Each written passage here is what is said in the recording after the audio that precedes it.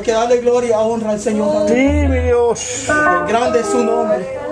Gloria a Dios, aleluya. Vamos a orar, aleluya. Vamos a dar una oración por todos nosotros, aleluya. Sí, Señor. Vamos a poner nuestra vida delante de la presencia de Dios. Sí, mi Dios. Por los hermanos que lo vemos, aleluya, porque están pasando enfermedad, aleluya. Sí, Señor. Oh Señor Jesús, Oh, gloria a Dios. presencia hemos venido el día de hoy, Señor. Alabanza sea tu nombre. Que sabemos que solamente tú, Señor de los cielos, Oh, gloria a eres Dios. nuestro guardador, Señor. Oh, gloria a nos da Dios. fortaleza a nuestra alma. Venimos delante de tu presencia, Señor, Alabanza, pidiéndote por Señor. cada uno de nosotros.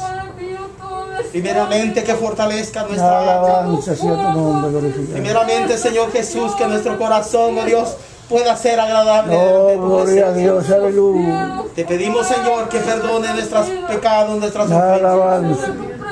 Sabemos y reconocemos que solamente tú eres Dios Oh, gloria a y que Dios. fuera de ti no hay Dios.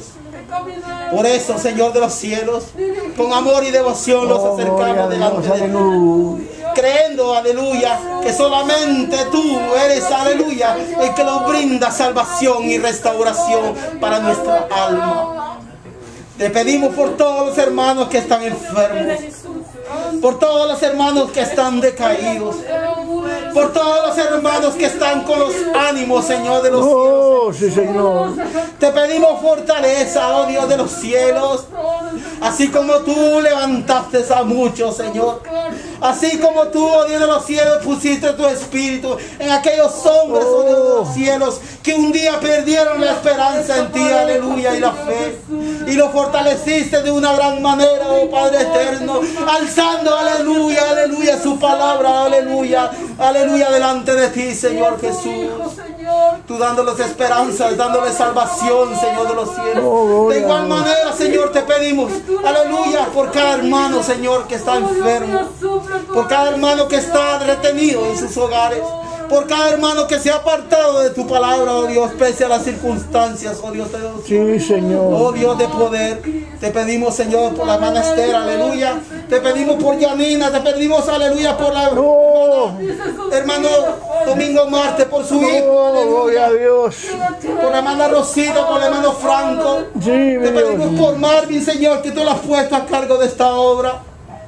Por la hermana, aleluya, gloria al nombre del Señor, aleluya. Oh, gloria a Dios. Por la hermana de la esposa del hermano Marco, ¿cómo se llama? Sí. Marixa, te pido por mi vida, Señor Jesús, Oh, que los guarde, que los proteja, Señor Jesús. Que nos dé la oportunidad, oh Dios, de servirte con todo nuestro corazón. Oh Padre eterno, gracias, Señor Jesús. Amén y amén, aleluya. Vamos a esperar un poquito a lo que vienen los hermanos, aleluya. Vamos a cantar el último coro y así entregamos una parte a nuestro hermano Marvin, aleluya. Porque sabemos que no podemos alargarlo mucho, aleluya. sí, mi Dios. Aleluya.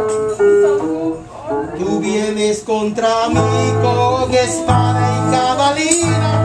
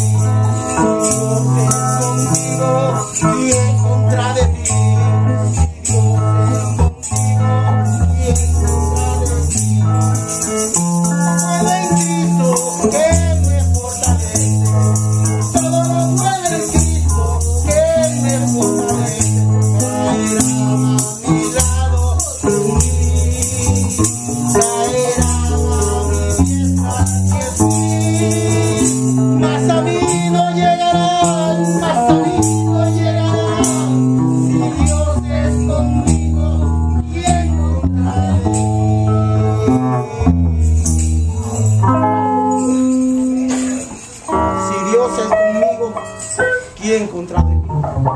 Si Dios es contigo, ¿quién contra ti? Sí, Señor. Aleluya. Que Dios les bendiga. Creo que la hermana Esther va a tomar la parte. Aleluya. Dios les siga bendiciendo. Amén. Alabado sea Dios. Sí, Señor. Quiero darle gracias a todos.